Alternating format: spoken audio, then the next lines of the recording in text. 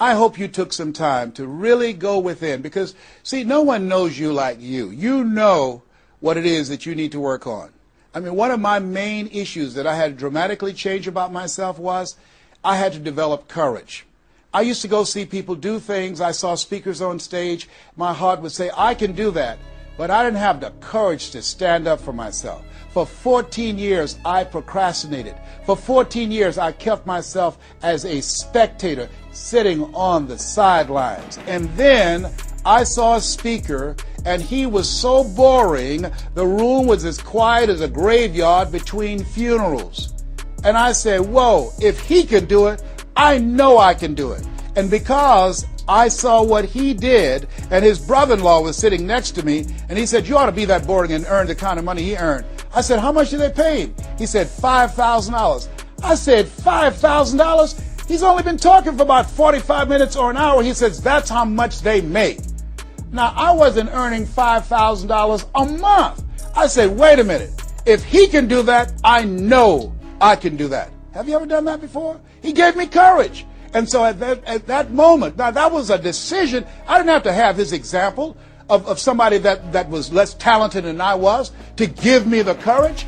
I should have had the courage to stand up myself, to believe in my own stuff. But the truth of the matter is, I didn't.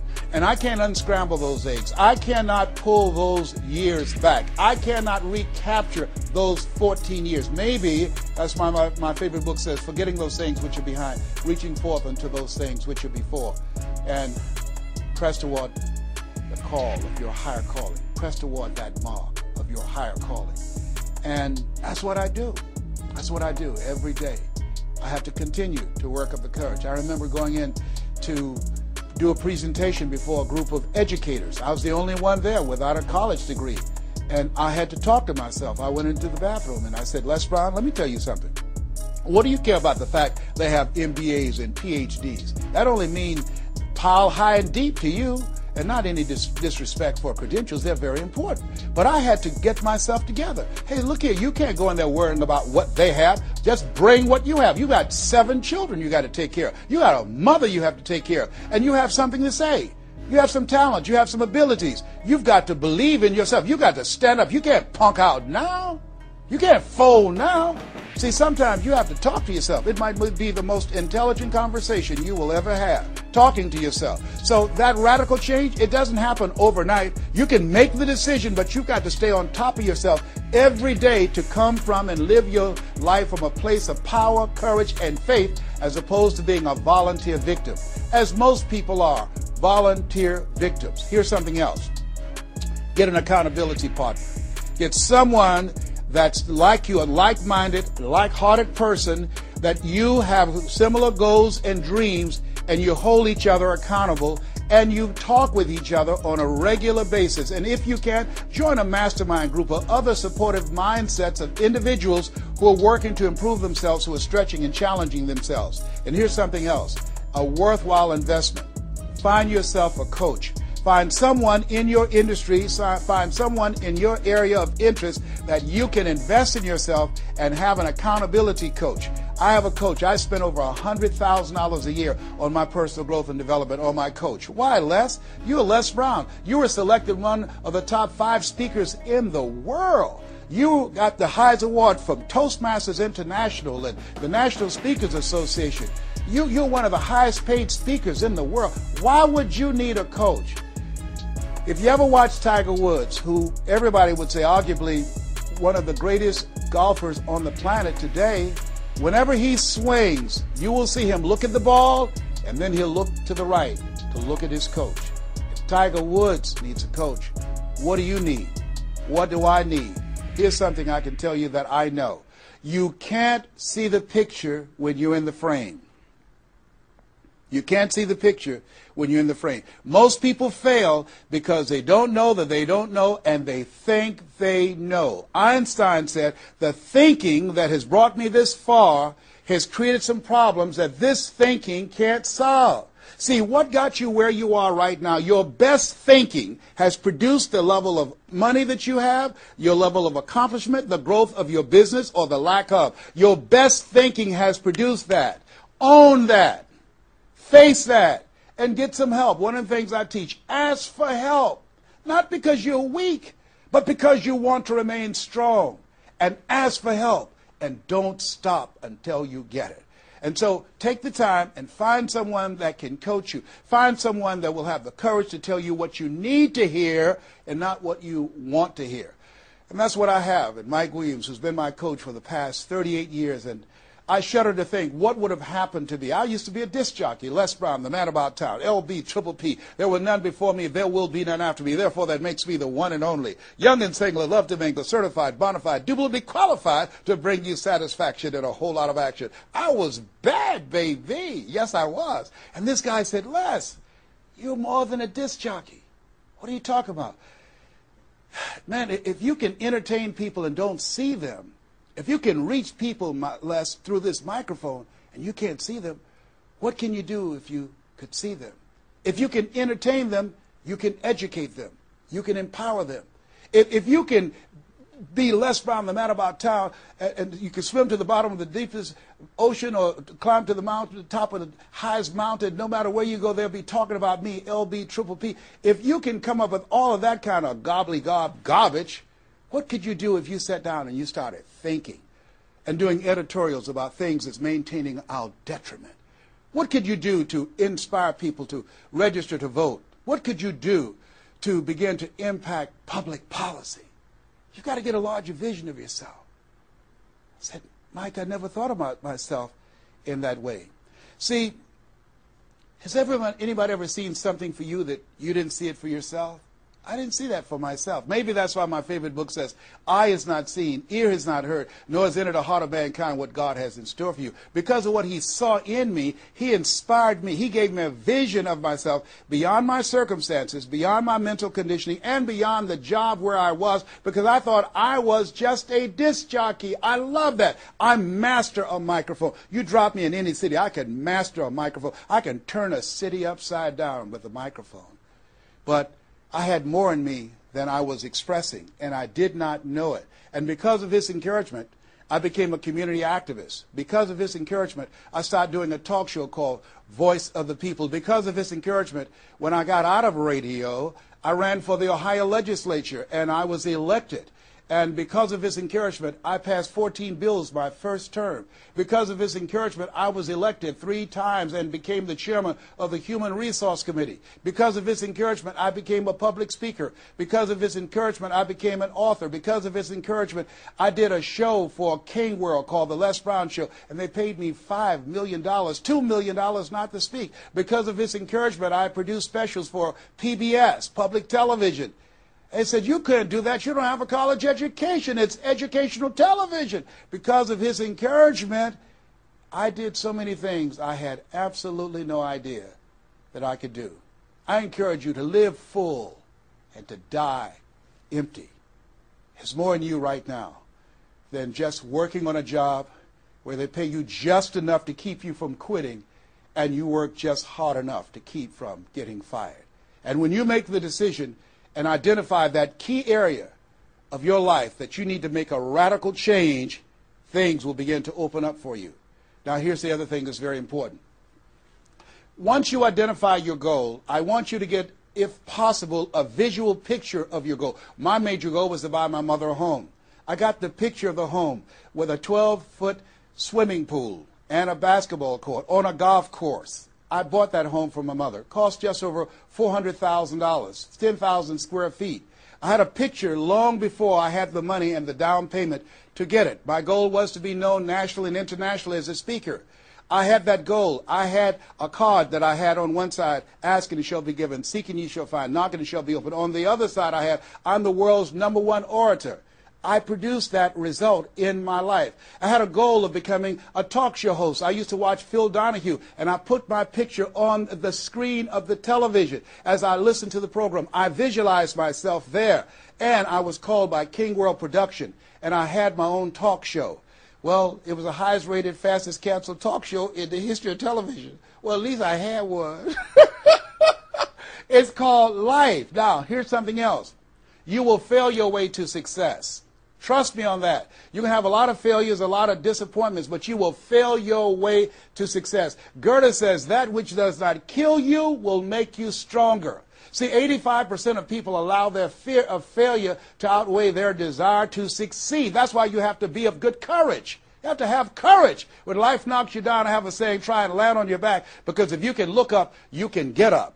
So once you look at and decide the goal that you want, you want to put some things, put a treasure board or a, a board and have pictures of the goal that you want to achieve so you can see it every day when you get up in the morning and the last thing at night. You're programming your subconscious mind where nine out of ten decisions that you make comes from there. Here's something else. Not only do you want a, a, physical picture that you can see every day to remind you to keep you on course, but the other thing that's very important in achieving your goals, writing your goals down in detail and having seven action steps that you take every day. Now, Robert Schuller said, by the yard it's hard, but inch by inch, anything is a cinch. You want to think about what are the things I need to do every day. Break it down into increments. You have your 30 day goals, and you have your three month goals, and your six month goals, and your one year goals. All right? You want to break it down in increments. What do you need to do starting today? Don't squander any time. There goes a second. There goes another second. There goes another second. And all the power in the world can't bring it back. So, what are seven things that you can do starting today? And then once you do those seven things, then you work on all the other stuff. But what are the seven most important steps that you can take that can move you in the direction of your goal? And when I decided to become a speaker, I started memorizing quotes every day. That was one of the goals I had. To memorize quotes. I have probably over four to 500 quotes and statistics in my heads in all kind of areas. I've spoken at the National Convention for real estate conventions, REMAX. I've, I've spoken for doctors and lawyers. I trained over 5,000 doctors last year, teaching doctors how to communicate with their patients to increase their taking of their hypertension medication, to increase their compliance from 30%. I was paid $640,000 in one month, Monday through Friday, Monday through Thursday, 30 minutes a day. A lot of people work a whole year and don't do that. I don't tell you that to impress you, but to impress upon you. You've got greatness in you. You can do more than you can ever begin to imagine. I had no idea this Les Brown you see existed. I had no idea. And the reason that you're watching me now is because you know in your heart of hearts that you can do what I've done and even more. And so as you begin to think about that, think about writing your goals down, listening to motivational messages, changing your relationships, upgrading your relationships, thinking about seven things you need to do every day, some radical change you need to make in you. There's an old African proverb that says, if there's no enemy within, the enemy outside can do us no harm. Here's something else that's very, very important. As we talked about having a personal coach, the next thing that's important about reaching your goals is this. What is it as you look in your past that's affecting you right now. I, I saw a movie called Magnolia, a powerful line in that movie. And the movie said, We might be through with our past, but our past is not through with us. Whoa. Let me share something with you I realize about myself. The reason that I procrastinated for 14 years was because when I was in the fifth grade and Mrs. Mary Ford Williams said to Mrs. Crompton, he doesn't belong here. He is slow. He's not like his brother. And they put me back from the fifth, fifth grade to the fourth grade. That affected me. I didn't even realize it. They say sticks and stones will break your bones, but words will never hurt you. Yes, they will. But they can also free you up. Because I'll never forget when I met Mr. Washington. It was my junior year in high school. I'd been in special education from the fourth grade all the way up to my junior year in high school. My twin brother always made the honor roll. And he said, young man, work this problem out for me. He was a new instructor. I said, sir, I can't do that. He said, why not? I said, I'm not one of your students. He said, look at me. Yes, sir. Work the problem out anyhow. I can't do what you asked me to do, sir. Why? Sir, because I'm, I'm educable, mentally retarded. And the students erupted in laughter. They said, hey, he's DT. He said, what's that? He's the dumb twin. He's not Wesley. That's Leslie. And he came from behind his desk and he said, don't ever say that again. Someone's opinion of you does not have to become your reality. I was, that was a jarring statement. On one hand, I was humiliated, but on the other hand, I was liberated because he looked at me with the eyes of Goethe, who said, Look at a man the way that he is, he only becomes worse. But look at him as if he were what he could be. then he becomes what he should be. And here's what I learned from that experience. I want you to visualize yourself already there. Whatever goal, whatever dream that you have, see the picture complete. See yourself there. Why? We have something at the base of our brains called the reticular activating system. See, you have genius within you, and, and to prove it, let me give you an example. The other night, I, I said, I've got to get up tomorrow morning at 7 o'clock. I was at a hotel. I called downstairs and told them to call me at 7 o'clock. The hotel neglected to do it, but I woke up at 7 o'clock on the nose. Have you ever done that before? How did you know when to get up? Hey, that subconscious mind. Everything we need, the answers are already there. Have you ever seen somebody and said, you know what, I, I remember your face, but I, I don't exactly know where. And then later on you say, hey, I know, I know where I saw you, and it came. What happened? The conscious mind sent that thought to the subconscious mind, and it pulled that information up and gave it to you. Now, when you begin to hold the vision of what it is you want to achieve, you stimulate what is called the reticular activating system. It's a network like group of cells at the base of your brain. Let me share with you how it works. Have ever purchased a car? No one goes to buy a car that has the same color that everyone else has. Has that ever happened to you before? But then once you buy the car and you drive it off the lot, you start seeing it everywhere. Say, hey, where did this come from? Let me, let me tell you what happened. You made an investment. And because you made an investment that piqued your awareness, that stimulated your reticular activating system.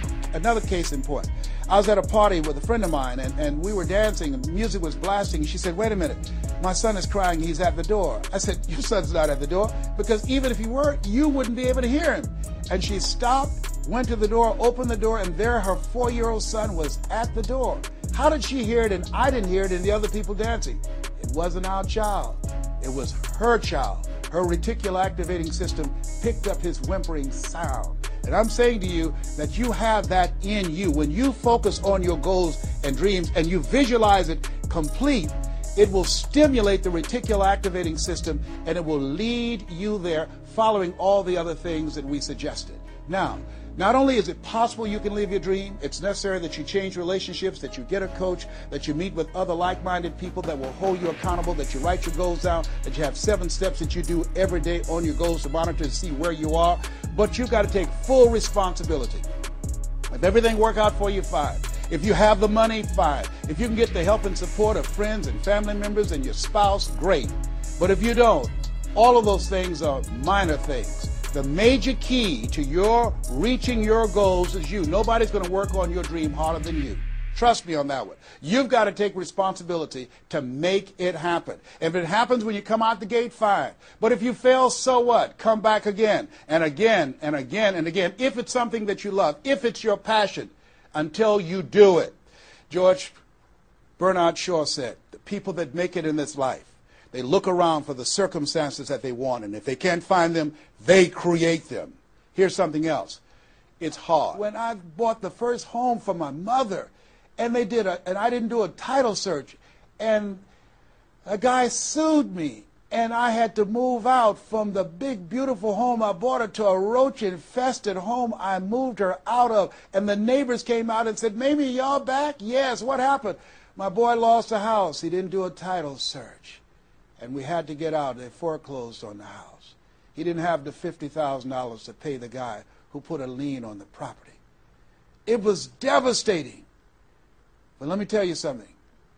It was worth it because I came back. 90 days later, I got a bigger and better house. 90 days later, I stayed focused on the goal. And that's the thing that you want to do. Stay focused on your goal. Keep the main thing the main thing. You're going to have distractions. That's a part of the process. It's not there to stop you. It's only there to challenge you. You want to grow through it. You know, I think it was Robert Schuller who said, tough times never last, but tough people do. Keep the main thing the main thing. You going through hell? Don't stop. Keep moving. Keep on moving. Don't stop to talk about it. Keep moving. That's the name of the game. Keep on swinging. One of my favorite movies is, is Cool Hand Luke and, and, and, and Paul Newman. I don't know if you've ever seen the movie, but there's a scene where Cool Hand Luke is fighting a guy. Guy, big dude, just kept knocking him down. Bam! That kept on knocking him down. Cool Hand would get up, he'd knock him down. Bam! And pretty soon the guys would feel inside say, Stay down, Cool Hand, stay down. Cool Hand Luke would get back up again. Guy would knock him down. Bam! The guy would say, Stay down, man, stay down. Cool Hand would get back up again. The guy knock him down. Bam! And after a while, the guy got tired of knocking Cool Hand down.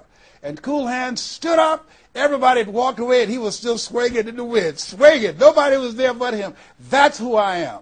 Cool Hand Luke. That's who you want to be. Cool Hand Luke. You keep on swinging, and the universe will yield to you. It will dispatch angels to come rescue you and say, back off. Give him what he wants. Give her what she wants. Let's go find a wimp today. That's the way life is. It's hard, but it's worth it. What it will make it worth it for you? Nietzsche said, if you know the why for living, you can endure almost anyhow. I want you to take the time and write down 12 reasons on why you won't fail. Because when the tough times come, they're going to come, when life hits you on the blind side, and that's going to happen, your children start going crazy, or someone you thought you'd be married to for the rest of your life, like I went through, and they decide they want a divorce, Call life. What is it that can keep you going? Your reasons will be your rod and staff to comfort you, to take you through that process. I can tell you it's possible. You can live your dreams. It's necessary that you surround yourself with people you can learn from and grow from, that you write your goals out, you work on them every day, that you have a made up mind, I am going to make it. It's necessary that you constantly work on yourself, reading positive material, listening to positive material, going to seminars and workshops, investing in yourself, getting a coach. And it's you. You've got to take personal responsibility to make it happen. Don't see yourself as a victim. And it's hard. It's hard. Changing your life is hard. Getting up, working when you're in pain is hard. It's hard. It's hard working when you are trying to make something happen for you and the family, and you go home and, and you're facing a living hell where you need to refuel and replenish yourself mentally and emotionally and spiritually, and you got a battle in your home base, it's hard to keep your spirit up. It's hard. And people don't see the vision. They don't believe in you. They say, oh, you can count on me, and they're not there. They just lied. They're only there when they need you. It's hard. I can tell you, it's worth it. The sacrifice that you have to make, I can tell you from my experience, it's worth it. So take the time to write down what are those 12 reasons of why you won't give up? What is it that will make it worth it for you? And once you find that, you will create some momentum in your life, and then it's done. It's done. Stick a fork in it. It's done. Here's something I want you to keep in mind life is a fight for territory. It's a fight for territory. And once you stop fighting for what you want, what you don't want will automatically take over. I want you to read that. I want you to memorize that. I want you to put it someplace where you can see it. I want you to keep that in mind.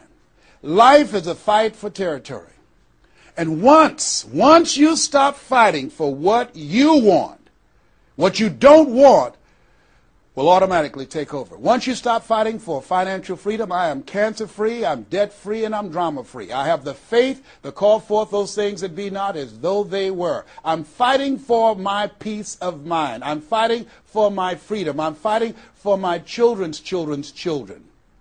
I'm fighting to create a brighter tomorrow. I'm fighting to make a difference in life. I'm fighting to, to make my print, to leave my mark. I'm, I, I refuse to die and unlive life. And, and that, that's what you are doing right now. You're saying to yourself, I refuse to die and unlive life. I want my life to count. I want my life to mean something. I want not to be a burden to anybody. I want to control my own future, to write my own check, to control my own destiny, to do want to do to do what I want to do when I want to do it, not to answer to anyone else but myself. You have it like that. The only reason you're watching me is because we're cut from the same cloth. We're branches of the same tree. The only reason you take the time to invest in your time, your money, and your energy, just, just stay here and focus right now. Because you feel me in your heart. Where your heart is, there your treasure is also. As a man thinketh in his heart, so is he. And I say to you, keep in mind what I said. Life is a fight for territory. Once you stop fighting for what you want, what you don't want will automatically take over. Jim Rohn said something I love. He said, when the end comes for you, let it find you conquering a new mountain, not sliding down an old one. No. Life is too short and unpredictable, as, as Helen Keller would say. Eat the dessert first. Don't let it find you sliding down the same mountain. I don't know what your goals are. I don't know what your dreams are. Here's what I know about you. You have greatness within you. Here's what I know about you, and I don't even know you, but based upon my own experience, you were chosen on purpose for a purpose. One out of 400 million sperm. You have greatness within you, but greatness is a choice. It's not your destiny. It's a choice that you have to make every day. Choose ye this day whom ye shall serve. The mediocre part of yourself or the greatness that you were chosen for. God bless your dream. God bless the greatness that is in you. The world needs you, and we need you now. And so it is.